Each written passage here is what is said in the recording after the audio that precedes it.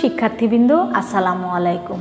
আমার ছোট্ট সোনামণিরা ইনশাল্লাহ তোমরা সবাই ভালো আছো। আমিও আল্লাহর অশেষ রহমতে ভালো আছি। আমি মোসাম্মদ খদিজা খাতুন লিলি, সিনিয়র শিক্ষক, Srishti central school and college, Rajshahi. আমি গত ক্লাসে পড়িয়েছিলাম আমাদের বন্ধুরা। ছবি ও কথা থেকে আমাদের বন্ধুরা। সেখান থেকে আমরা কিছু কি, রিডিং পড়েছিলাম, শব্দের অর্থ জেনেছিলাম তাই না? বিরাম চিহ্ন শিখেছি। আচ্ছা দেখি মনে আছে কি না? উপকার অর্থ কি বলো তো শোনা ধন্যবাদ, সাহায্য। আচ্ছা এবার বলো তো দেখি, মুকুল অর্থ কি? কুড়ি। অনেক অনেক ধন্যবাদ। এবার আরেকটা ধরি, বলো দেখি যে সাথে অর্থ কি বলেছিলাম? সঙ্গে। এই তো, মনে আছে, অনেক সুন্দর হয়েছে অপরূপ অর্থ কি বলেছিলাম? অতুলনীয়। এইবার দেখো, আজকে আমরা বাংলা ব্যাকরণ বই থেকে ভাষা জান সম্পর্কে জানব, তাই না? যেমন দেখো, আমরা বাংলা ভাষায় কথা বলি, তাই না? সেটা যদি তুমি সুন্দরভাবে না বলো, তাহলে কি কেউ বুঝতে পারবে? বুঝতে পারবে না। আবার দেখ, উর্দু ভাষায় কেউ কথা বলছে তোমার সাথে, কিন্তু তুমি সেটা বুঝতে পারবে না। আবার সেই ভাষাটা পাকিস্তানের মানুষরা আবার বুঝতে পারবে, কারণ তারা তাদের ভাষা, রাষ্ট্রভাষা উর্দু, আর আমাদের রাষ্ট্রভাষা হচ্ছে বাংলা। এক এক দেশের ভাষা এক এক রকম। সে কারণে আমরা সমাজবদ্ধ মানুষ এবং আমরা যে সমাজে বাস করি, সেই সমাজের ভাষা আমরা কি? জেনে ফেলি, তাই না? তাহলে দেখো যে ভাষা সম্পর্কে দেখো যে প্রথম পৃষ্ঠায় তোমাদের আছে ভাষা। যে মানুষ মনের ভাব প্রকাশ করার জন্য বাকযন্ত্রের সাহায্যে যে অর্থপূর্ণ ধ্বনি উচ্চারণ করে, তাকে ভাষা বলে। দেখো এখানে খুব গুরুত্বপূর্ণ দুটো কথা আছে যে বাকযন্ত্র, তাই না? বাকযন্ত্র বলতে বোঝায় যে এই যে দাঁত বলো, তারপর জিহবা বলো তারপর আলজিবা বলো, তারপরে বলছে যে তালু, কণ্ঠনালী, এগুলো হচ্ছে বাকযন্ত্র। তো বলছে যে অর্থপূর্ণ। আবার বলছে অর্থপূর্ণ, তাই না? তুমি যদি এলোমেলোভাবে বলো যে আও মাও খাও, সে কি তোমার কথা বুঝতে পারবে না আমরা বুঝতে পারব? তুমি যদি সঠিকভাবে সেটা বলো যে আমি ভাত খাব। তাহলে তোমার মনের ভাবটা প্রকাশ হলো এবং সেটা অর্থপূর্ণ হলো এবং সেটার উত্তরও সঠিকভাবে দেয়া যাবে, তাই না? তাহলে সংজ্ঞাটা এইরকম যে মানুষ মনের ভাব প্রকাশ করার জন্য বাকযন্ত্রের সাহায্যে যে অর্থপূর্ণ ধ্বনি উচ্চারণ করে তাকে ভাষা বলে। আবার বলছি একটু শোনো মানুষ মনের ভাব প্রকাশ করার জন্য বাকযন্ত্রের সাহায্যে যে অর্থপূর্ণ ধ্বনি উচ্চারণ করে, তাকে ভাষা বলে।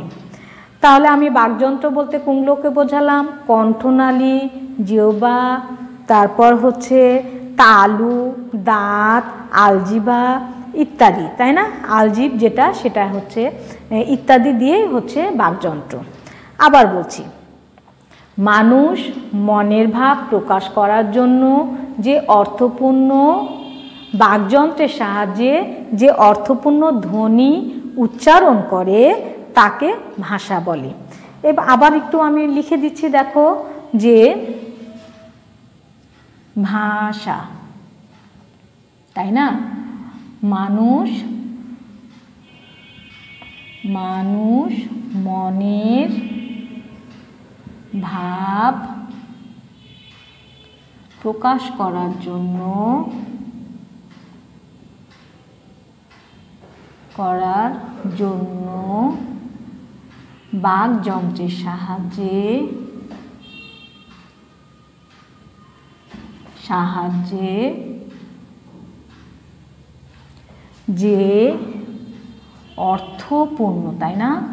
অর্থপূর্ণ ধ্বনি উচ্চারণ করে উচ্চারণ করে, তাকে কি বলে? ভাষা বলে, তাই না? তাকে ভাষা বলে। ভাষা বলে। যেমন দেখো, আমরা বাংলা ভাষায় কথা বলছি, যেমন বাংলা ভাষা, ইংরেজি ভাষা, উর্দু ভাষা, তাই না? বলা যায় তো। তারপরে বলছে যে, তাহলে কি বললাম? যে মানুষ মনের ভাব প্রকাশ করার জন্য বাকযন্ত্রের সাহায্যে যে অর্থপূর্ণ ধ্বনি উচ্চারণ করে, তাকে ভাষা বলে। তাহলে আমরা ভাষা জেনে নিলাম, বিভিন্ন দেশের ভাষা, বিভিন্ন রকম, তাই না? এবার বলছে যে মাতৃভাষা। সাধারণভাবে যেটা মায়ের মুখ থেকে শেখা হয় যে ভাষাটা, সেটাই হচ্ছে মাতৃভাষা, তাই না? তাহলে মানুষ, আমরা এভাবে সেটা মাতৃভাষাটা বলতে পারি যে মানব শিশু জন্মের পর থেকে, যে ভাষা মানব শিশু জন্মের পর থেকে, পর তার মায়ের কাছ থেকে যে ভাষা শেখে, সেটি হচ্ছে তার মাতৃভাষা। মানব শিশু জন্মের পর তার মায়ের মুখ থেকে যে ভাষা শেখে, সেটাই হচ্ছে তার মাতৃভাষা। তাই না? আবার বলছি দেখো যে মানব শিশু জন্মের পর তার মায়ের কাছ থেকে যে ভাষা শেখে, সেটাই হচ্ছে তার মাতৃভাষা। আমরা বাংলাদেশের অধিবাসী, তাই না? আমরা আমরা আমাদের মায়ের কাছ থেকে বাংলা ভাষা শিখেছি, তাই বাংলা আমাদের মাতৃভাষা। আমরা কোথাকার অধিবাসী? বাংলাদেশের অধিবাসী। আমাদের ভাষা বাংলা ভাষা, তাই না? আমরা মায়ের মুখ থেকে বাংলা ভাষা শিখেছি, তাই বাংলা আমাদের মাতৃভাষা। তাহলে বলা যায় যে মাতৃভাষা কাকে বলে, তাই না? মাতৃভাষা কাকে বলে? তখন তোমরা এভাবে লিখবে, মাতৃভাষা। মানব শিশু মানব শিশু জন্মের পর থেকে, জন্মের পর তার মায়ের কাছ থেকে মায়ের কাছে থেকে যে ভাষা শিখে, যে ভাষা যে ভাষা যে ভাষা শিখে সেটাই তার মাতৃভাষা। সেটাই তার মাতৃভাষা। মাতৃভাষা। যেমন কি? আমরা বাংলাদেশের অধিবাসী, আমরা মায়ের কাছ থেকে বাংলা ভাষা শিখি, তাই বাংলা আমাদের মাতৃভাষা। এবার বলছে বিদেশি ভাষা, তাই না? দেখো, বিদেশি ভাষাও যেমন, বাংলা আমাদের মাতৃভাষা। এর বাইরে যে কোনো ভাষাই হচ্ছে বিদেশি ভাষা, তাই না?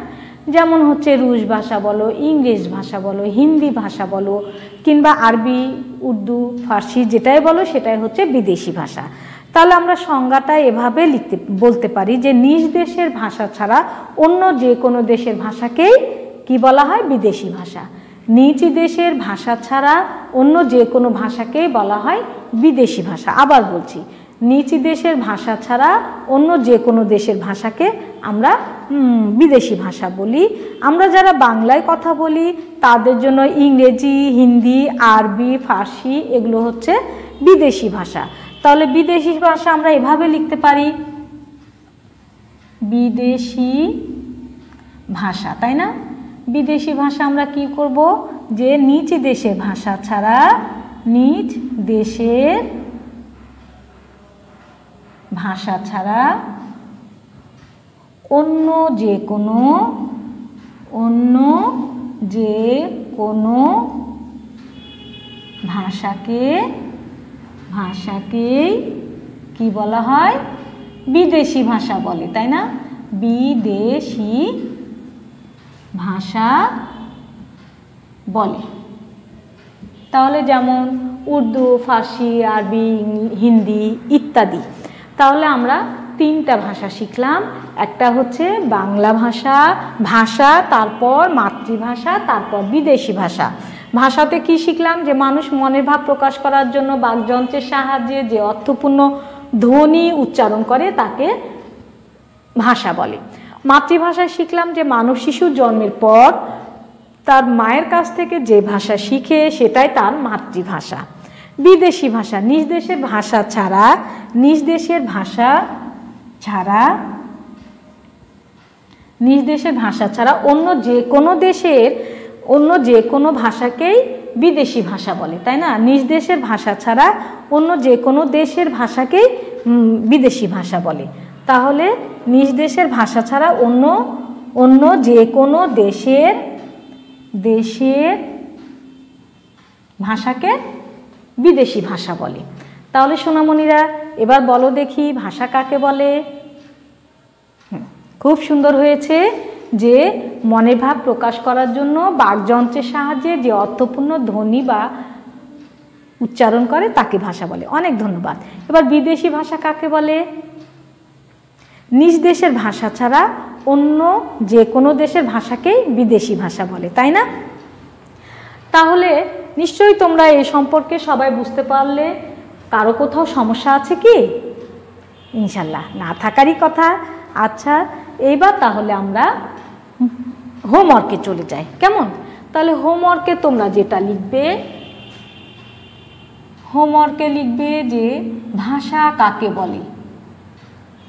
ভাষা কাকে বলে? উদাহরণ সহ লেখো।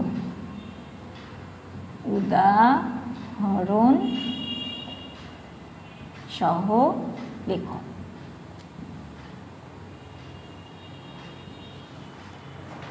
তাহলে নিশ্চয়ই তোমাদের সব ডায়েরি লেখা হয়ে গেছে। সোনামণিরা সুন্দর করে পড়াশোনা করবে আর বাবা মার আদেশ মেনে চলবে। সবাই সুস্থ থেকো নিরাপদে থেকো ভালো থেকো। আল্লাহ হাফেজ।